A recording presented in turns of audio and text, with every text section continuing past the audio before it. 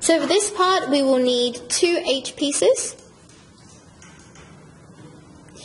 and one ultrasonic sensor. Now notice this looks a bit like um, the head of WALL-E. So it's very cute. Um, so it's very difficult to mistake this for any other sensor. Um, now we are going to take the one of the H pieces and we're going to take the thing we've already built and we're going to place the H piece on the last three holes here. And notice that it's on this one and not that one. So this is what we have.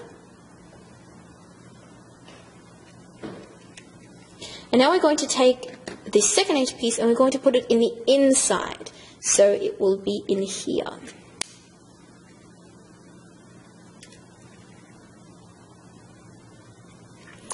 And now we're going to put the sonar ultrasonic sensor right into these holes.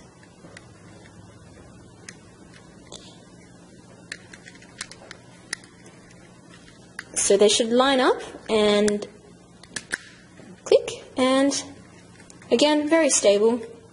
So this is what it should look like.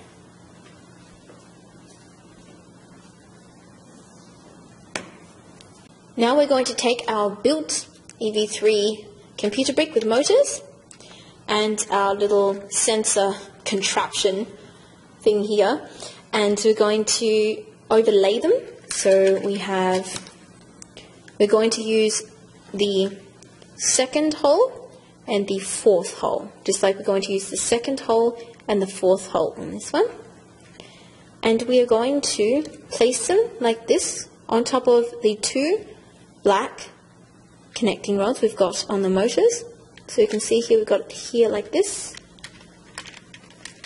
Oh, it's a bit difficult to see. So these two like this and these two on the other side like this. And make sure you've got to do them at once at once because otherwise it may be very difficult.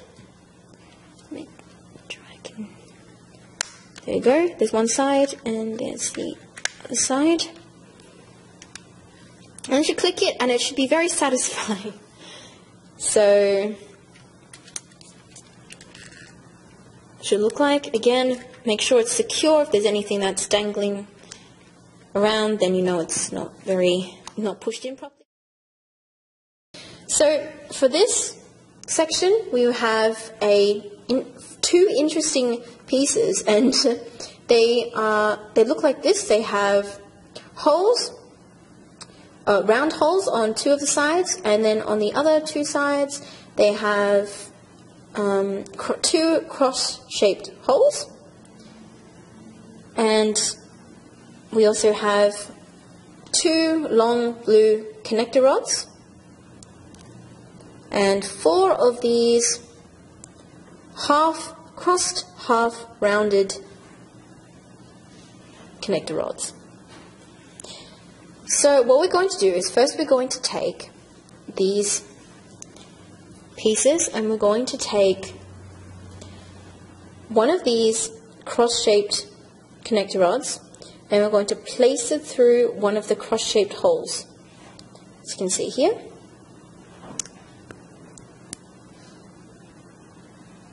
And they're going to do the same on the other cross-shaped hole.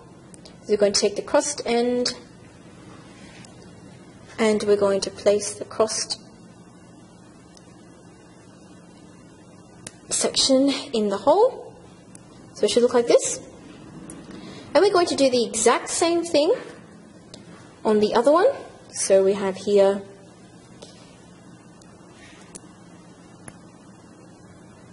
this connection and we also do the same on the other hole.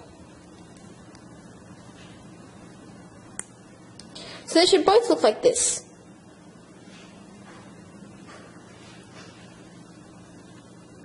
Now, we are going to put them on the our EV3. Now what we do is we're going to flip over our EV3 until we can see these sections near the top of the EV3. Push these into the holes so it will sort of click and it will be very secure. And we're going to do the same with the other one. So we're going to push them in the other three holes. So it'll look like this. Now we're going to take the short end of the longer connector rod and we're going to place them in the hole in the middle of these pieces. So it should click in like so. And we'll do the same with the other one. So we take the short end and we place it through the hole in the middle.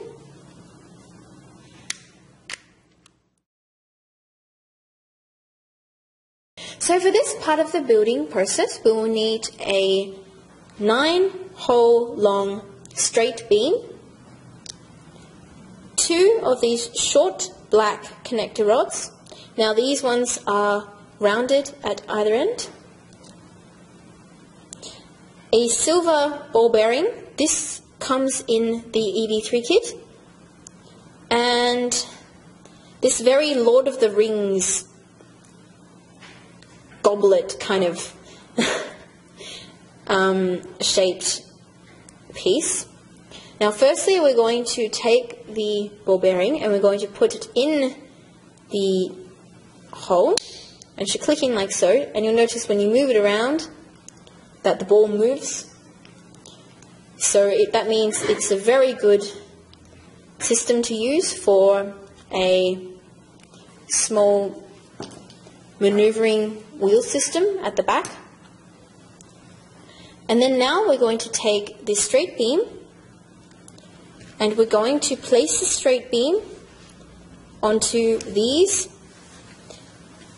connections. Now make sure that when you place them on that there are two holes remaining on either side and three holes in the middle as you can see. Now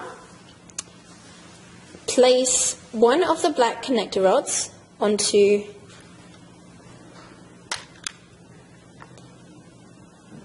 one of the holes in the middle three.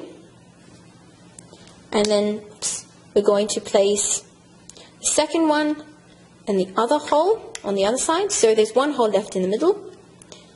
And we're going to take this ball bearing contraption and we're going to place it like this onto the two middle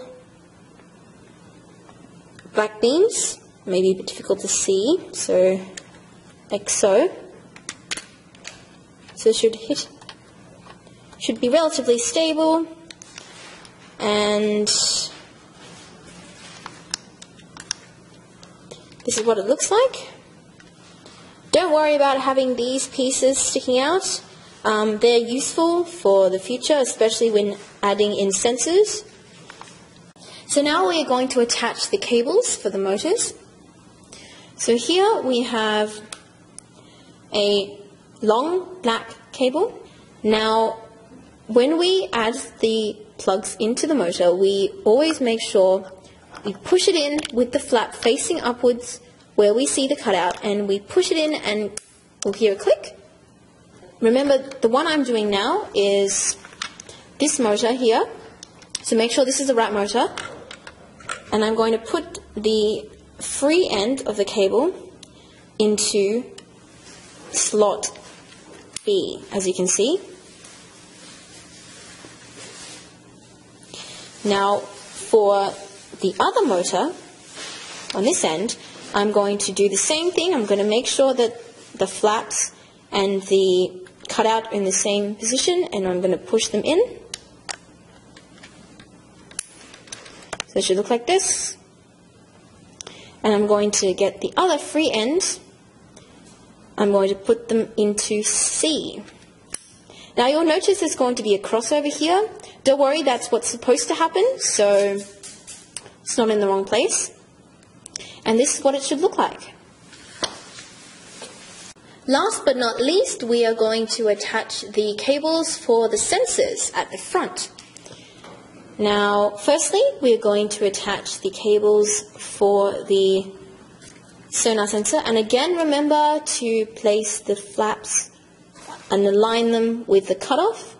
And also, please note here that I have used the shortest length cables. The reason is because it is much easier to put the cables in, also that it makes things much more compact.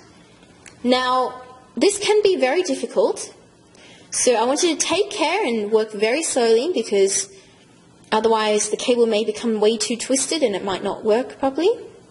So we're going to loop the cable like so, and we're going to push it into the hole, shown here, oh dear,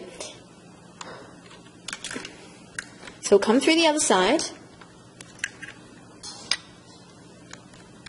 And we pull it. So it looks like that. Now we want to put the sonar in number three. So you can see number three. And this may be a little bit tricky, and it depends how small your fingers are, I suppose. But you're going to push it in. Again, make sure that it's in the right way, and do you hear that? It's a click. So we know it's in. You can see it looks, you can imagine how much more messy it would be if it was a longer cable. So, see, that's pretty well done. Now we're going to plug in the sensor, so the light sensor in the front. So what we're going to do is we're going to make things easier on ourselves by taking one of the ends and putting to port 4 this one. This will be the one for the light sensor. Again, you can hear the clip. And unfortunately, this can get a little bit difficult, especially since if we did, if we plugged it in like this,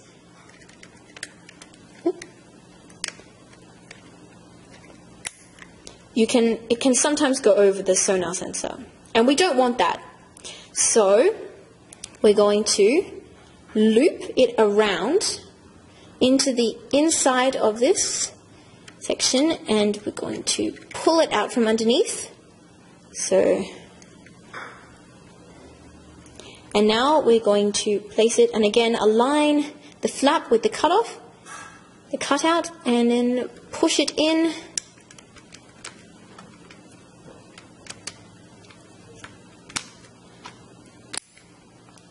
As you can see, it's definitely out of the way of the sonar and it's very, very compact.